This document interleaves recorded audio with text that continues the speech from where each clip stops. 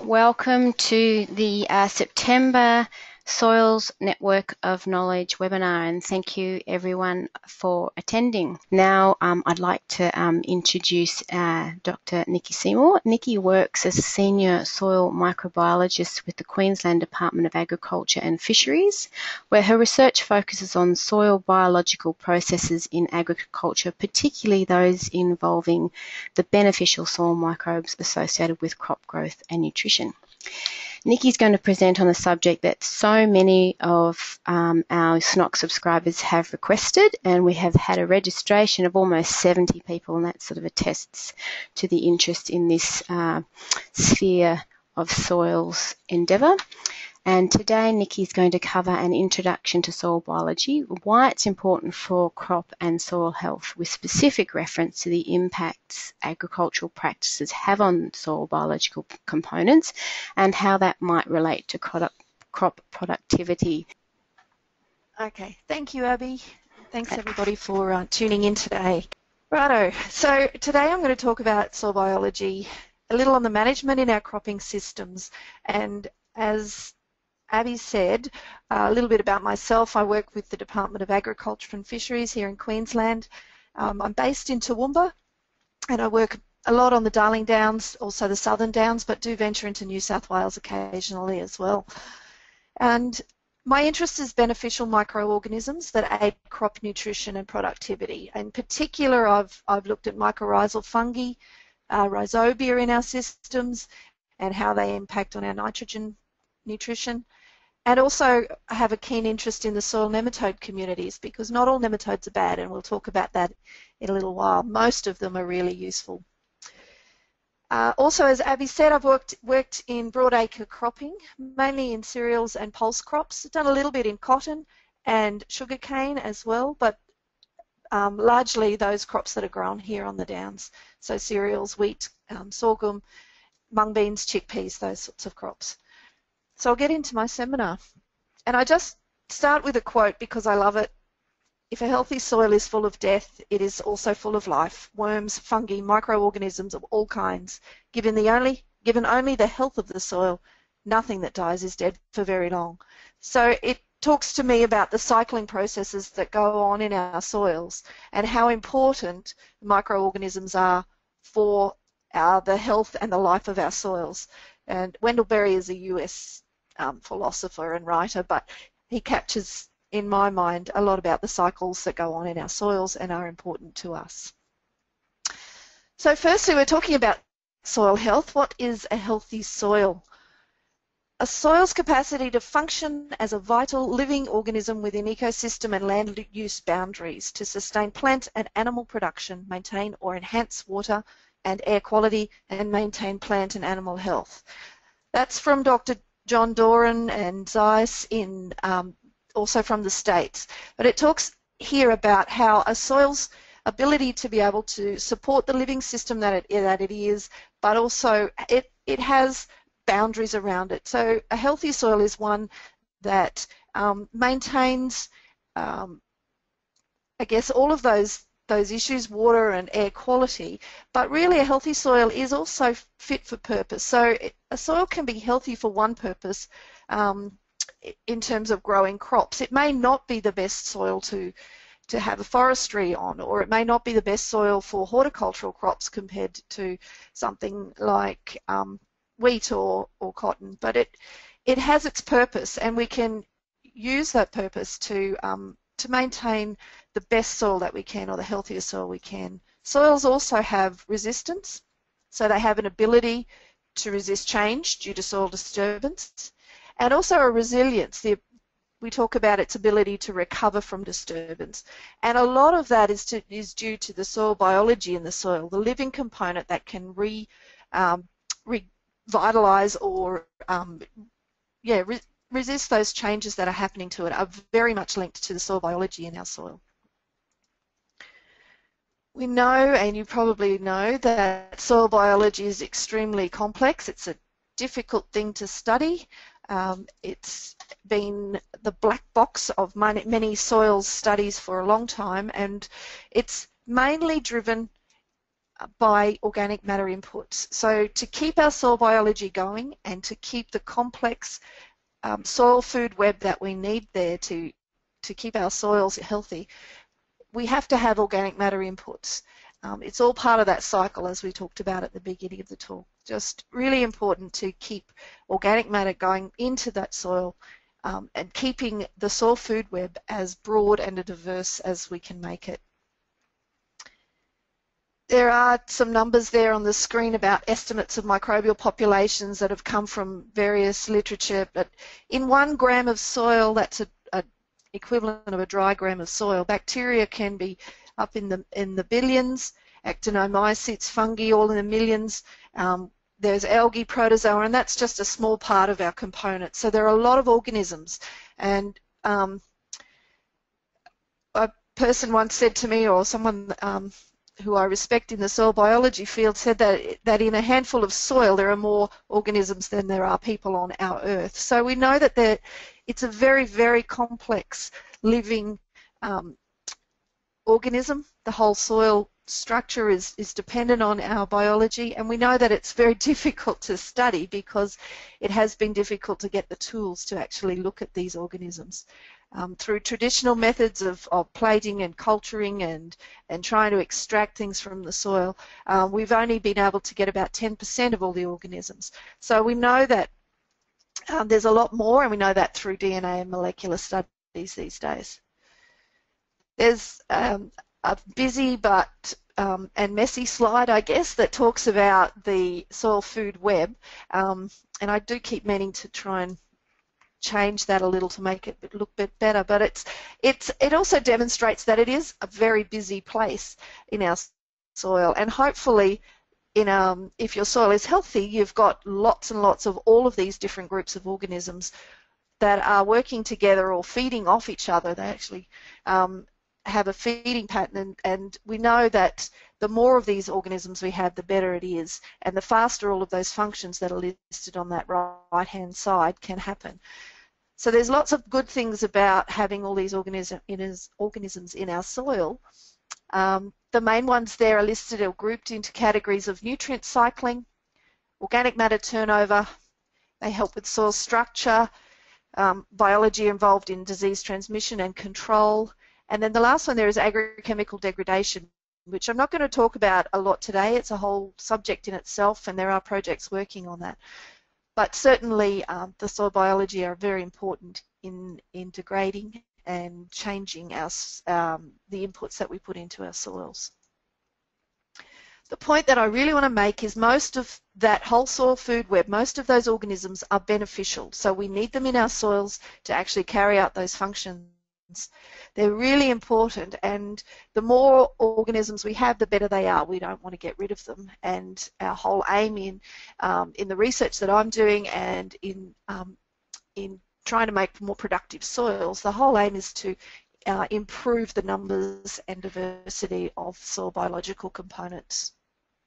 So there's that list again of the soil biota that are important and I'm going to just sort of go through some of these last one. But the um, I'll start with nutrient cycling and organic matter turnover together because they are intrinsically linked. Um, and I'm just going to give a couple of examples from some stuff I've done. It's impossible to really talk um, about uh, everything that goes on in our soils, and there are books and books and books written on it, so um, as you would probably know. So nutrient cycling um, biology are involved in helping to add nutrients to the soil so they actually can um, increase our levels of, of nutrients for our plants and one good example of that is the symbiotic nitrogen fixing bacteria that we know about, rhizobia.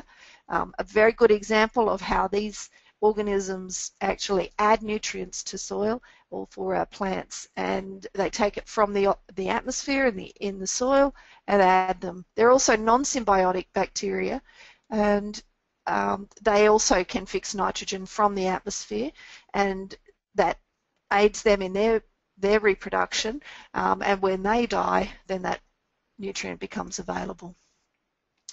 So there's other um, organisms that transfer nutrients into available forms or facilitate their uptake by plants. So I'm grouping these into large groups. There are lots of different functions and just some examples. There are nitrifying microorganisms. So we know the nitrifying bacteria that actually change the ammonias into the nitrates so that we can make them available for plants to be able to take them up.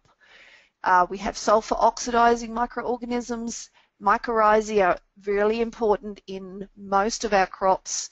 90% of our crops need um, microorganisms and not just crops, so horticultural um, trees as well, um, and and our whole um, all our plants within our ecosystem. A lot of them are dependent upon mycorrhiza to a certain extent.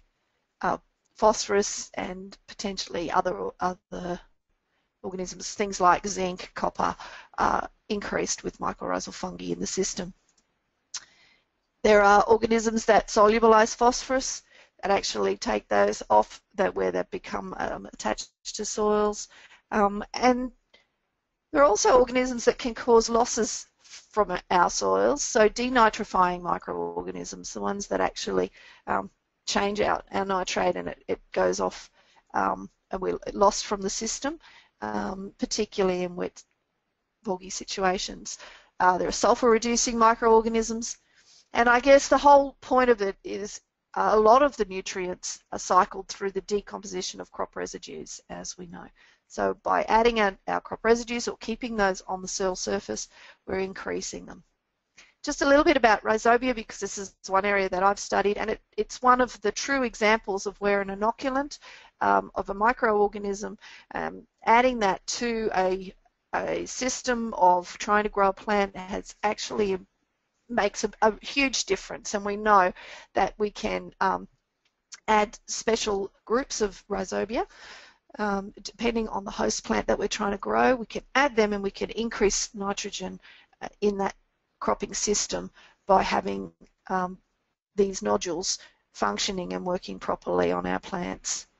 Um, they're very fairly reasonably specific to the host plant so you do need to get the right type of nodules. And a lot of the crops that we grow in Australia are not, um, obviously not native, and so we need to add the inoculant because those rhizobia are not naturally occurring in our soils, the ones that actually make a difference. Some examples of how we can manipulate this in, in our management is things like growing chickpeas, for example, in our systems. We've studied the impacts of something like the row spacing of our chickpeas. So where we can, uh, where we we may increase our row spacing, we actually found that we were reducing both the biomass of the plant, but also this percent NDFA, which is the percent of nitrogen derived from the atmosphere. So when we looked at, at a well um, nodulated chickpea crop, um, we actually had a reduction in the amount of nodules and the reduction in the amount of nitrogen that was fixed as we went to wider rows in that cropping system given the same plant population. So theoretically there were the same number of plants accessing the same amount of soil, but they actually were reduced in the amount of, of nodulation and nitrogen fixation. So by reducing our row spacing we can actually increase nitrogen fixation and we get a better result for our um, following crops as well as the amount of, of nitrogen that's feeding the chickpea crop itself. So we can use um, management to actually manipulate things. That's just one example of how rhizobia have been very important in our system and we are continuing to study them. Um, I, I, also have studied mycorrhizal fungi and um, just in the nutrient cycling space, phosphorus um, and zinc in particular are very important um, for um, for the crop plants. And we know that different crops have different dependencies on mycorrhizal fungi.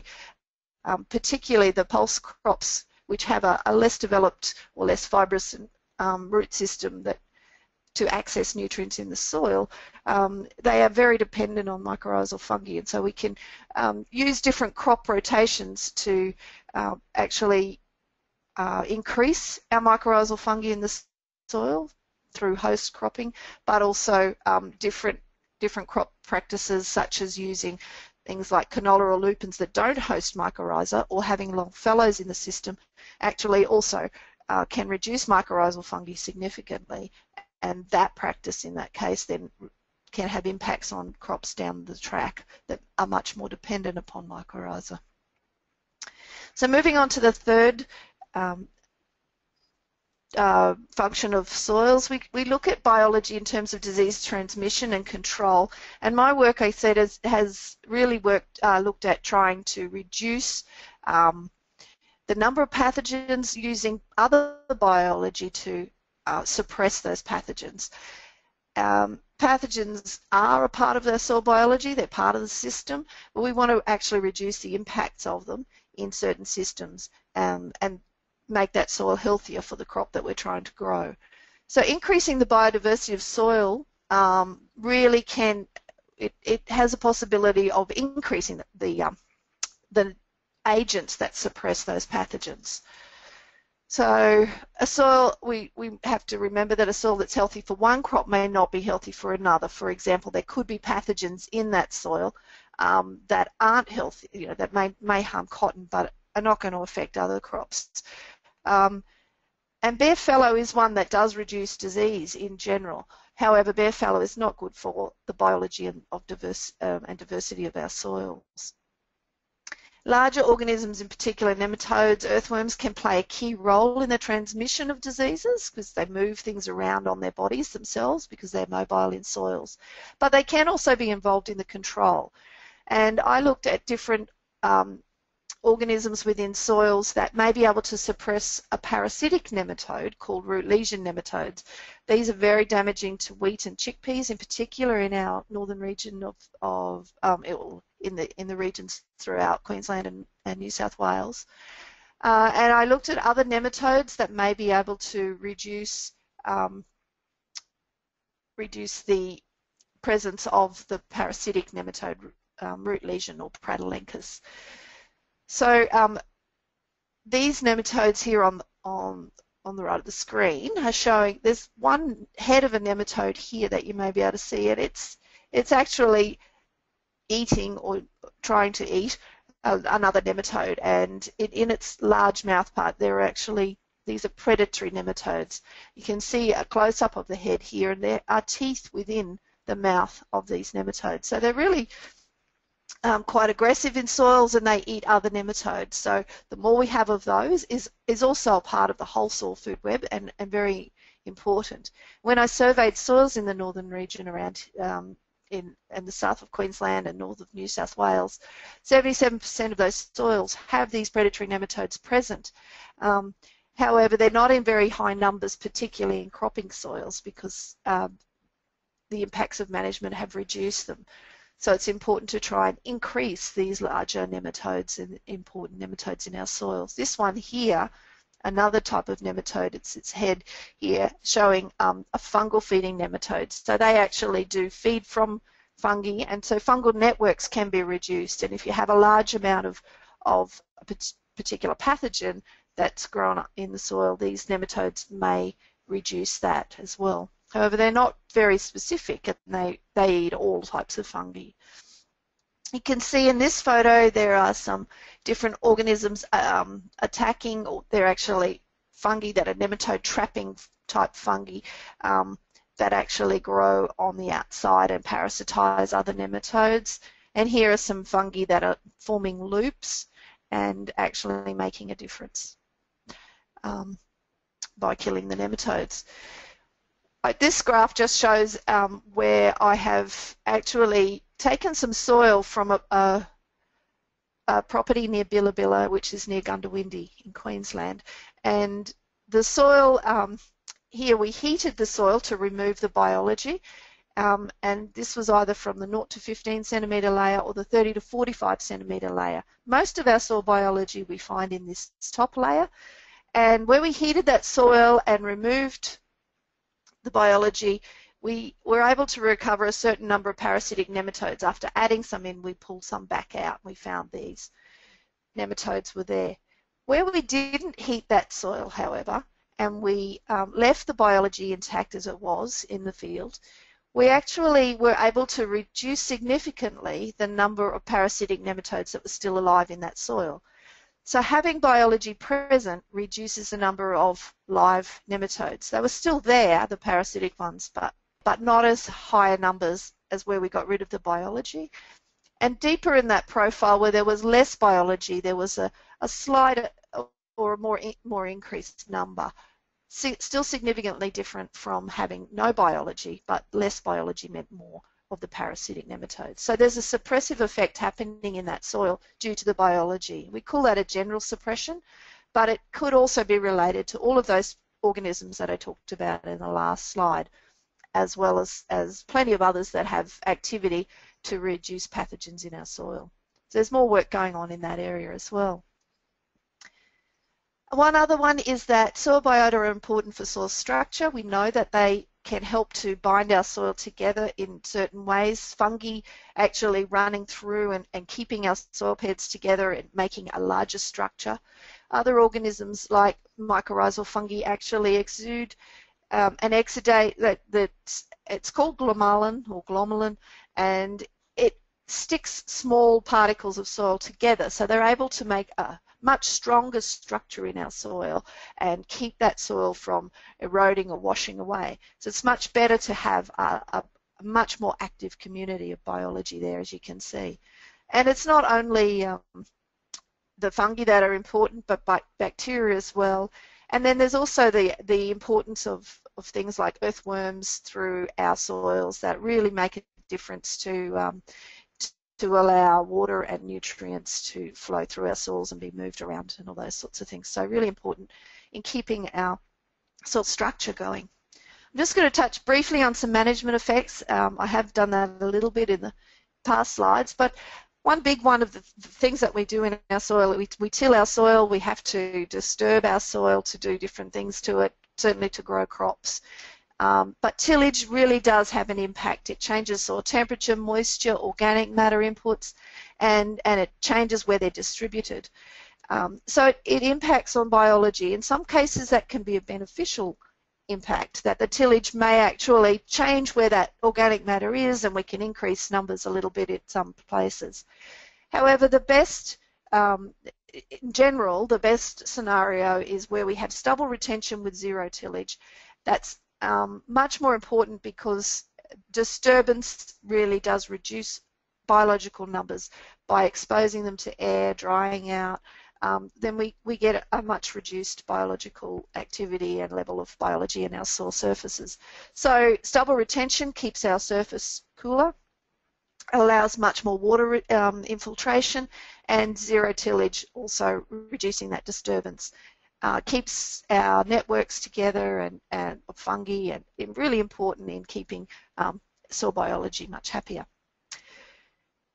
It does, however, stratify our organic matter and the microbial activity that is kept in the surface, as I said. So 70% of our populations are in that top 10 centimetres, about 65% of the activities.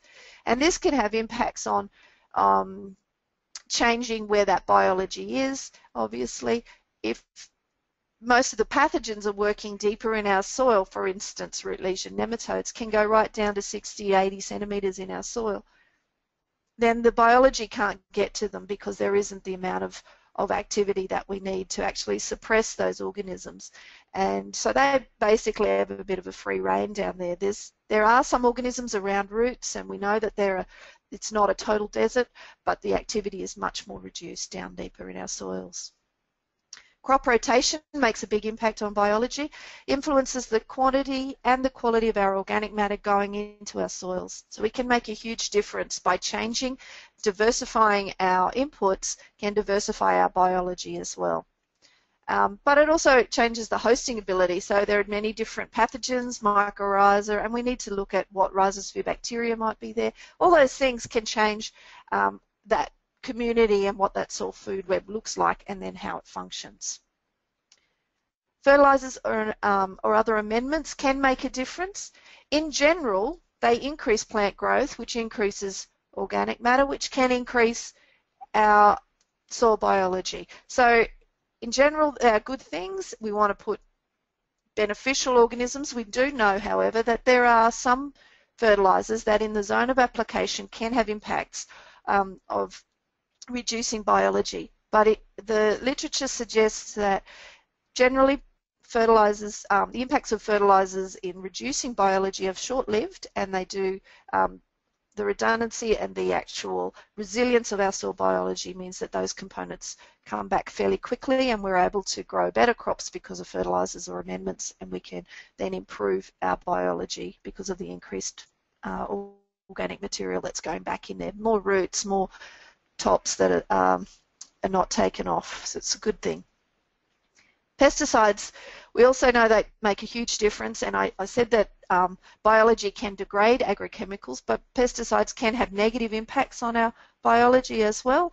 Uh, there is a project within New South Wales DPI looking at um, the impacts of herbicides, particularly residual herbicides, but also glyphosate on um, some of the biological functions in our soils. And so it's a bit of watch this space to see what where that data um, or what that data shows, but we are looking seriously at how the components of our biology are uh, positively or negatively impacted by the use of herbicides in particular.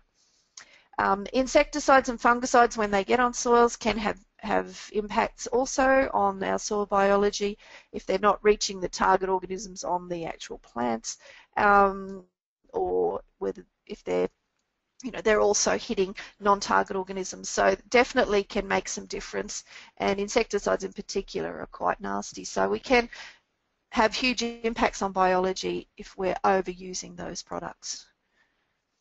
Just wanted to show one uh, example of some data from earthworms, um, and this was at Hermitage Research Station, um, a long-term trial and we could see that tillage and stubble management were really important in increasing the number of um, earthworms within that soil.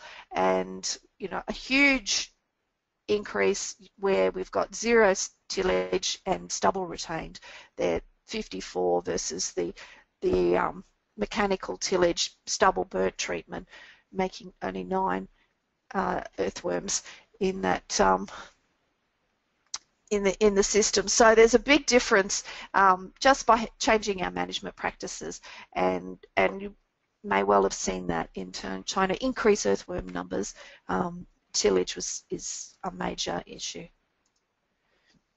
Some photos here that were actually from Gupta Vadakattu from South Australia, but they do show that microbial composition can be influenced by stubble retention. And here we've got um, an electron micrograph here of some soil particles with very little fungal organisms running through them and this is where tillage was uh, used to incorporate residue.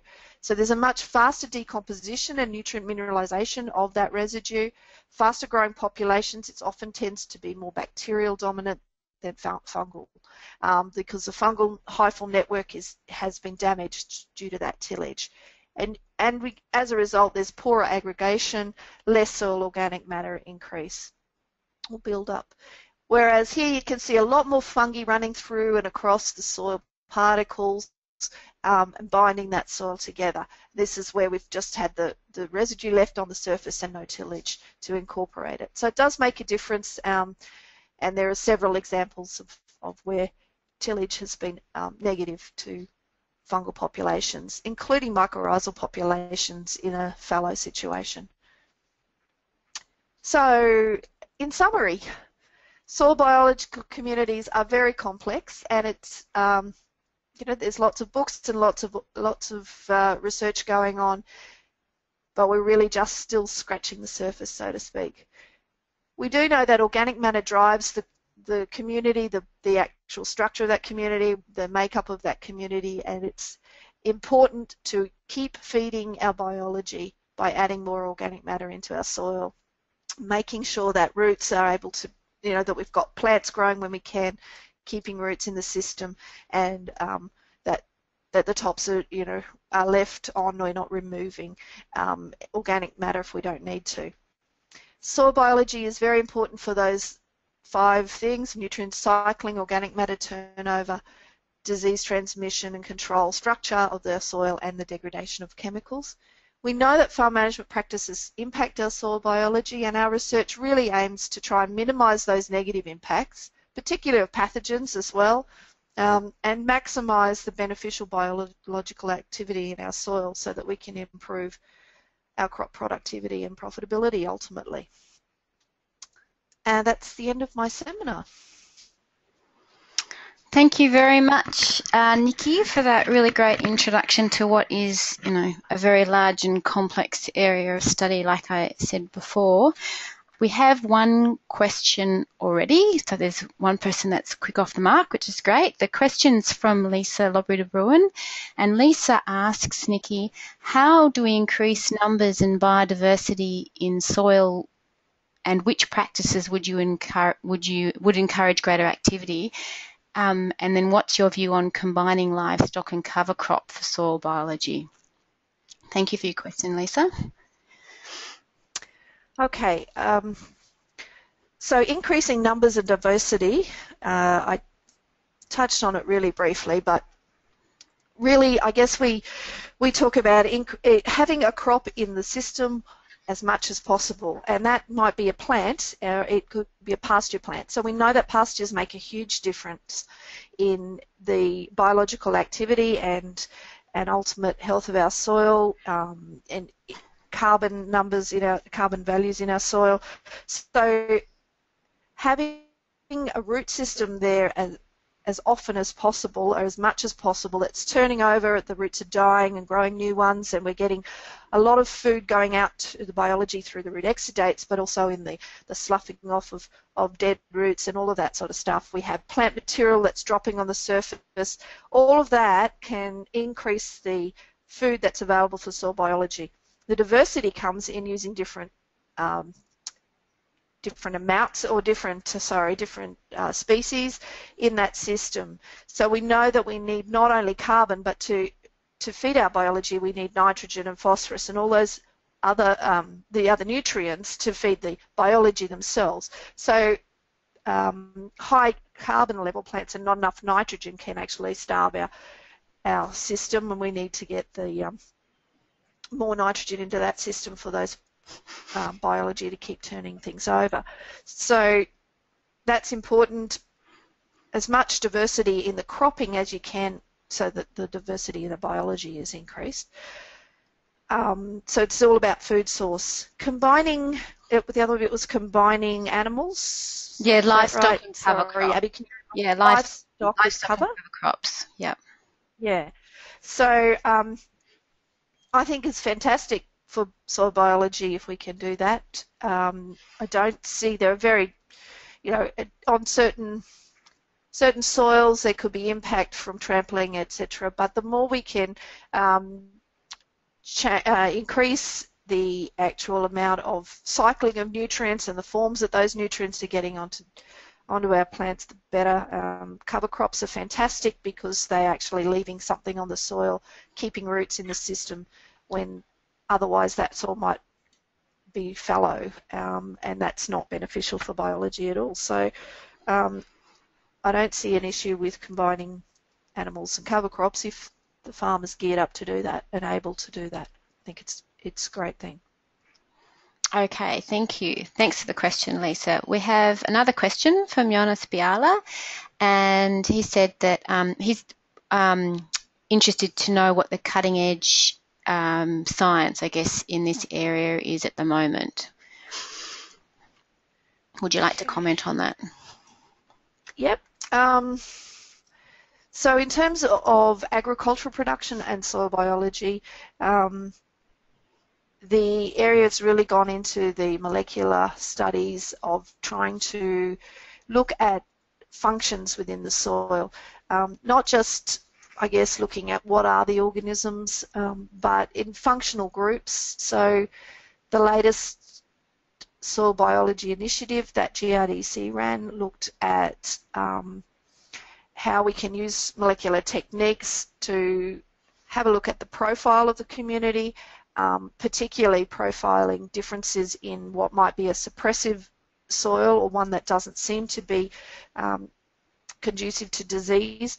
Um, versus one that is, and so that having a look at those profiles and seeing what the differences are, um, but also looking at the whole nutrient cycling, what genes in biology are turned off or on in terms of their whole um, um, activity and how they are in a system what impacts things like adding a fertilizer may do to a biological community in terms of genetic um, suppression of genetic function and having a look at how we can potentially trigger or um, or retard the actual cycling of nutrients or the, the change in our by, by changing the biological community. So a lot of that stuff um, in terms of the whole nutrient cycling process is looking at um, can biology be manipulated to, um, I guess, to trigger um, the whole processes, different processes within the nutrient cycling itself. So that's um, one big area, but there's there's a whole heap more. Um, not only in suppression, there is there's a lot of interest, obviously, in the impacts of pesticides, herbicides um, on soil biology, and are they um, are they making um, differences? Because you know we are we have said well there there are some small differences, but the literature generally shows that things come back, they bounce back. But longer term, how are we impacting things? Um, and you know, is it a, a downward cycle or or spiral? Um, that's eventually we're going to get to the bottom um, if we keep going with some of the herbicides or, or some of the um, pesticides we're using. Uh, there's probably there's a whole heap more stuff going no, on, and I guess that's, um, so uh, that's actually a good point for me to step in because we have two other questions that sort of um, interleave mm-hmm. into what you said quite nicely. There's a comment here from Lucas Van Zwieten, and Nikki, he's he uh-huh. said that there's a general feeling that increasing uh, microbial activity or biomass is beneficial, and he uh, has questioned whether that's the case. Should we be more focusing on that um, specific functionality that you mentioned about rather than the wide mm. biodiversity? Would you like to comment? Um, yes, I think we do have to do look at functionality, and you're right. We need to make sure that what well, what are we trying to achieve in the in the situation? Why are we why are we trying to look at the function of this soil? What what are we trying to get to in the end? Um, what are the important components in that? Um, I still believe that in general, microbial biomass, the more we have then um, in terms of the wider suite of organisms that are operating in that system, the less um, or the more chance we have of of being more resilient in that soil. So there, you know, there's lots of different things. There's, there are redundancies in the functions. So some some organisms can take over other functions that we may have thought were predominantly just one type of organism, but there are other organisms that take that over. We know.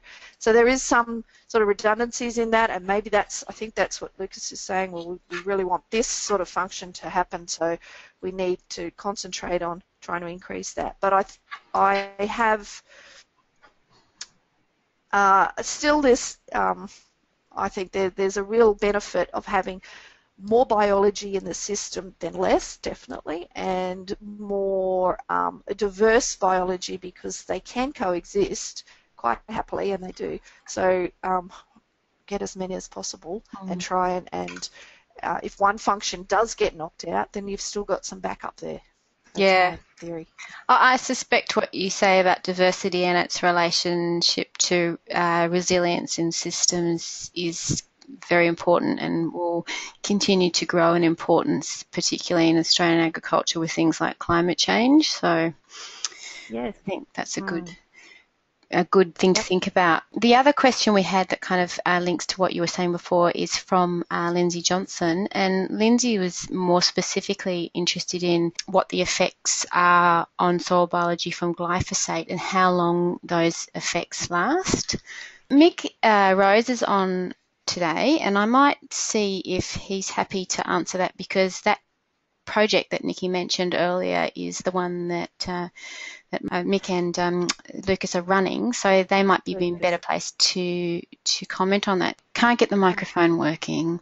Uh, okay. Do you want to just uh, what I might ask you both to do then is to type something in. I can read it out if you're happy to do that.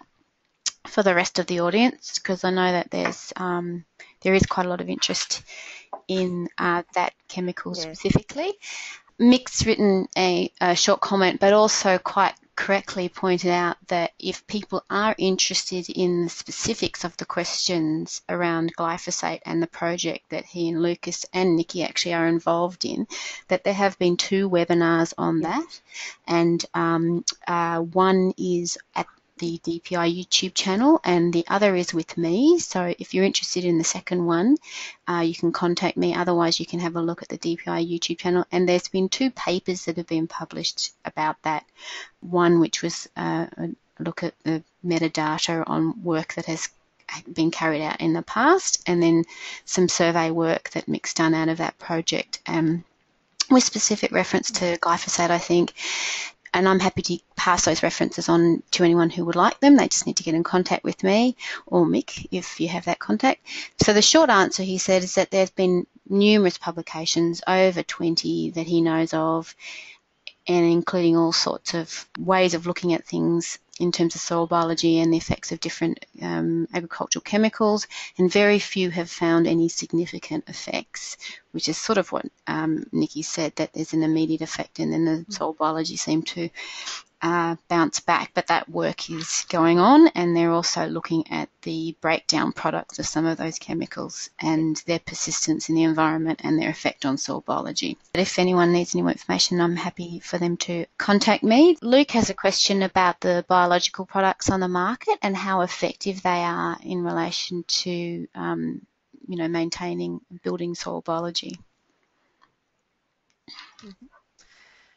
Um, so general generally the products that are on the market that people are able to add um, have limited effects on what we think is crop growth um, or productivity. There are some specific targeted ones, and I mean, one product is, of course, Rhizobium inoculum, which makes a huge difference. Um, but there are others that are mixed in, other other products that are out there that are more just general biology, and they they are adding organisms to the soil. However, if your soil is is ticking along and quite functional, then potentially you don't need those organisms or those organisms don't actually last very long in the soil because they haven't come from that environment in the first place. So my advice, I guess, with the products, I'm, I'm not dismissing any of them, but my advice is really to do some test strips. Have a look on your farm, buy a small amount of the product initially and do some strips in one paddock where you've got the product and you don't have the product. Um, monitor and measure those those strips so that you can get a good handle on whether they are actually making a difference. It should be that, I mean, the soil paddock history is really important that it is uniform or it is actually within the area that you're testing that you've got the same paddock history. So you've had the same crops or the same fertilizer history or the same um, impacts of tillage or whatever, so that that's not going to make the difference. That you can um, really just test those two products side by side and, and see, or test that one product without the other. Um, two strips that make um, a difference that you can actually then monitor and measure that and, and show for yourself whether you think that's making any difference. Generally, um, the mycorrhizal products that I've seen haven't been able to add enough of the inoculum of, of mycorrhizal fungi compared to what you could build up with a, a good crop of, of uh, mycorrhizal um, fungi actively working within a system. So if you've got a good host for mycorrhizae, something like wheat or a, a sorghum crop that actually hosts it really well, and then um, you build up the mycorrhizal fungi, then you shouldn't have an issue or need to be able to need to have to add mycorrhizal fungi, those sorts of things, because the numbers will far outweigh um, what you can actually add in in um, add from a bag or a or a bottle. So I think the the whole thing is to to give it a test and and see if it really does make a difference. Convince yourself first before you go and spend a lot of money on product. That's that's, that's nice answer. I think also there's perhaps a tendency to think about products the same way that fertilizers are thought of, and you're adding ingredients to a cake, whereas soil biology is much more sort of uh, well, it's an ecology, isn't it? yeah, I agree. Um, and it, it, some of the organisms really um, not not necessary for our soils. Um, you know, if you know, they may they may not be important at all or make a lot of difference in there. Um, they may make some difference, but I think you've got to add a lot more of them um, compared to managing your soil in a way that's, uh, you know, keeping um, as much organic matter on the on the surface of your soil as you can, and trying to improve the soil health in other ways other than um, just adding a product in to try and fix it. There's another question here from Bede O'Mara, and Bede asks, what are Nikki's thoughts on the effectiveness of biological catalysts being added onto traditional fertilisers? Did you want to add anything more to what you just said previously, Nikki, about that? Um, yeah. So, but I haven't really, I haven't done the studies. I haven't tested them myself. Um, but I do feel that there's some merit in it. Um, I think that we can make a difference in um, triggering um, or holding on to our fertilizers a bit longer or triggering when we're actually breaking them down. So I think that there's there are some things that can make a difference in that space and, and I haven't done the research and I think it's still evolving and still coming out but I think that, that it's worth pursuing to look at um, timing of release of different nutrients for crops um, and not um, yeah, trying to, to break those nutrients into being plant available at the right times when the crop needs them, that there's some, some great merit in it. If, um, but I haven't got any specific things that I could say on it yet. I haven't done any of the data, uh, any of the, the, the testing myself. Is that okay? yep, no, that's good. Thank you very much. Thanks, Bede, for the question. Um, so the, a similar thing um, uh, from Lindsay Johnson, and he's asked specific, specifically about things like um, kelp and fish hydrolysate and what impact do they have on, on soil biology? Um, okay, so I think obviously they're an amendment to the soil that adds um, adding both nutrients as well as some um, organic material as into the systems um, are going to make a difference as long as those differences aren't things like that, that are hugely um, saline in their application so that you're not changing you know um, the um, EC of soils that, that could affect crop growth then um, or biological components could be affected by things like the, the saline components or the pHs of soils, all of those things. So um, as long as that's not altering that environment dramatically or as you know, and they're in a soluble form that's then able to, they're, they're basically adding a nutrient into that system that can then be utilised quite effectively and so that they're all um, useful amendments. And I guess is there also some argument to say that if if the application of a product like that will drive a spike in in the growth of of a population, if you like, in soil biology, but then that's not backed up by more incoming product to maintain that, then it can collapse. Certainly, yeah. If there's not the product that keeps coming, then um, then the, whatever it was that responded to that, built up to that, will go back down again. Usually doesn't disappear altogether, but there's there are spikes in populations with the addition of those nutrients or those um, specific amendments. So yeah, it's going to make a difference momentarily until there's no more product, and then it's gone, and, and yeah. then they've got to find something else. So it's about maintaining levels, I guess. Yeah. But I ha again haven't looked at those specific products. Yep. Okay, thank you. And we've got another question here from Selena Miller who says, does soil moisture or the ability to irrigate crops have an effect on soil biology? Uh, yes, it does. Significant impact. Uh, can be a positive or a negative impact if if um, for example, flood irrigation can make uh, definitely change the soil biological community, um, and depending how long that soil is flooded for, then um, there can be big changes in the community because a lot of the organisms are aerobic and need oxygen in their systems. So um, flooding tends to tip that the other way to an anaerobic system, and depending on how long that lasts. However, irrigation keeping soil moist um, certainly makes a difference to um, bio biology, but because it's making also a difference to um, the amount of root growth you've got in your soils, the amount of, of crop production, the amount of, of organic matter that's available to plants, uh, to, to the biology. So all of that makes a difference as well. Um, so irrigation is generally um, more supportive of the soil biology as long as it's not knocking out a lot of the organisms by making that an anaerobic system. Yeah. Okay. Thank you. Well, um, the other question that Luke had, which I thought would be helpful for everyone listening, is where is a good place to go for other references or other resources, more information on soil biology? What would you recommend? There are multiple textbooks out there.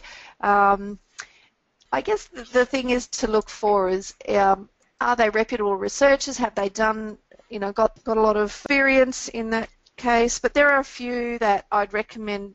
One more recent one that was put out by Graham Stirling, Helen Hayden, Tony Pattison, Marcelle Stirling, called Soil Health, Soil Biology, Soil-Borne Diseases and Sustainable Agriculture. Just a very broad, um, broad brush initially of soil biology, but it does have some good um, examples of um, suppressiveness of organisms, of, of the usefulness of, of organisms. It has great examples through uh, cropping, horticulture, and sugar that I can see, and a few other things. So um, it's a general guide, he's called it, a guide to soil health and an introduction. So um, could be a useful one to be able to get some great background knowledge.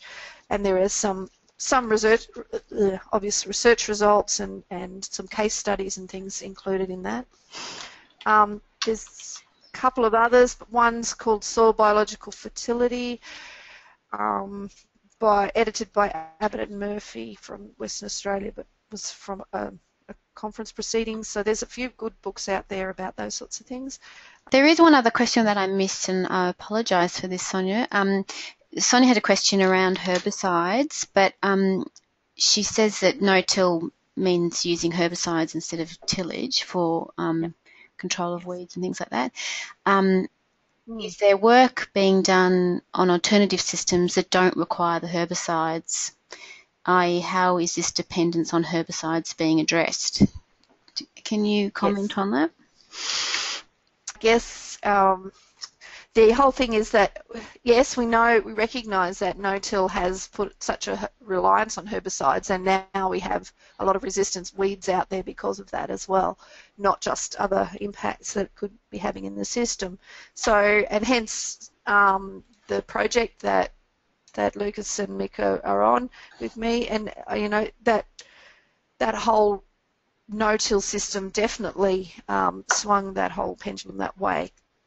Um, there are certainly now research projects looking at a much, you know, an integrated weed management system, uh, which has been, you know, very broadly um, publicised. Um, that one, I guess, the reliance on not just one group of herbicide, but using different types of herbicides, but other um, projects have evolved using, um, you know, harvest seed destructors, all those sorts of things.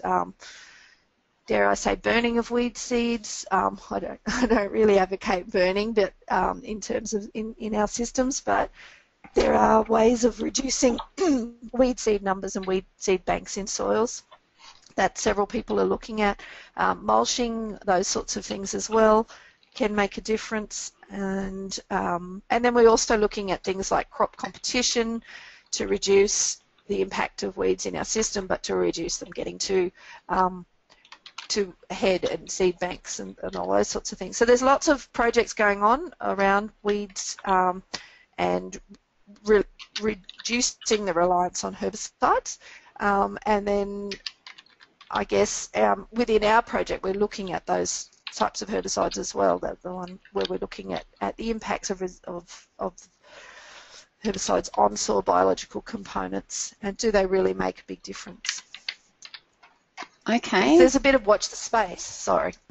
And a final question from Lindsay Johnson says, how long can fungi spores and bacteria last in the soil in adverse situations, e.g. waterlogging? Spores last longer than, than hyphae um, and certainly last longer than bacteria in adverse situations of waterlogging. Um, however, um,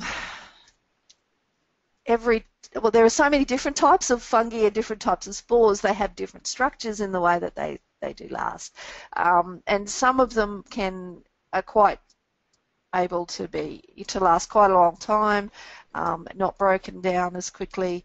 Um, particularly sclerotia and, and harder walled type fungi. So it depends on what type of fungus you're looking at, um, and certainly the spore form is much more um, able to resist changes in, in even in things like drying as well or heat um, compared to um, the other forms of the organism. So it's a bit of a how long's a piece of string, but um, it it can be years. I guess that spores spores can last in soil for multiple years. So, and um, they can be broken down in certain situations, but um, I don't know. Other than that, it depends on what structure you're looking at. One last question, and I think then we might have to call it a day. It's good to get lots and lots of questions and comment.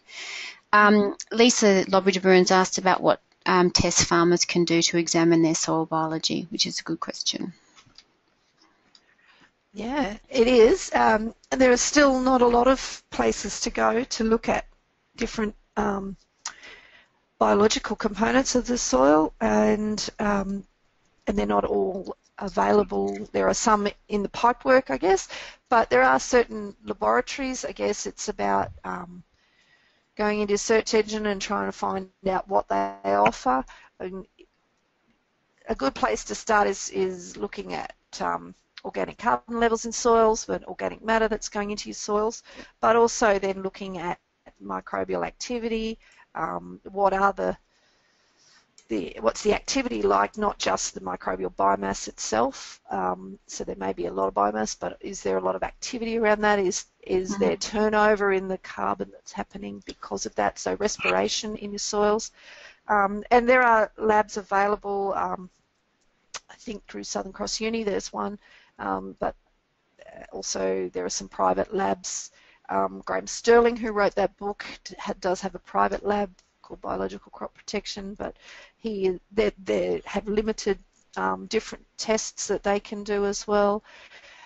Uh, there are, um, I'm really, yeah, there's, there's, there are a few out there that would be uh, have a look, um, but there are some coming online through the SARDI PREDICTA B service in that we're trying to not only look at um, the pathogens in that service that show up, um, you know, what are the, the, bad guys in our system, but we're looking at having some soil health indicators in terms of uh, the large nematode community groups. And I didn't go into that a lot, but looking at the structure of the nematode community can tell us a lot about the biological community in general because we have different um, the, the different feeding groups within the bio, biology or within the nematode community. So the different feeding groups can be an indication of the different levels of, of different biological groups in there. So fungi versus bacteria, for instance, versus other nematodes versus um, protozoa, those sorts of things. So we can actually look at those as well. Um, and another thing to not forget about in our biology are things like the earthworms, the larger um, organisms that are there, um, mites and um, they're really important also in the whole process. So you can look at numbers of those sorts of organisms as well. However, there are not a lot of services, um, labs. Some labs do do those things, not a lot. Yeah, and and It's limited. Lisa said, aren't nematodes difficult to identify? It's my understanding they are, and that's the kind of Oh, thing yeah. that you would get a lab, Yeah. lab to do. You'd have to have someone who had specialist skills, wouldn't you? Yeah, that's right. Nematodes are, I mean, they, they can all look pretty similar under a microscope. Then you have to go very much closer into um, the mouth parts um, and the top of the shapes of the, the gut and the shapes of their tails and all sorts of things. There are a lot of nematodes out there. Hmm. Um, you can broadly group them and then you can go a lot further into identification as to what their functions are Mm. as well. And I think the thing is that you do need to be, uh, if you're interested in this, you do need to be um, have an awareness of what the organisms are doing and and the function that, that you're wanting them to carry out and, and take it from there. Because I mean, essentially, I guess that's why most people are interested in it.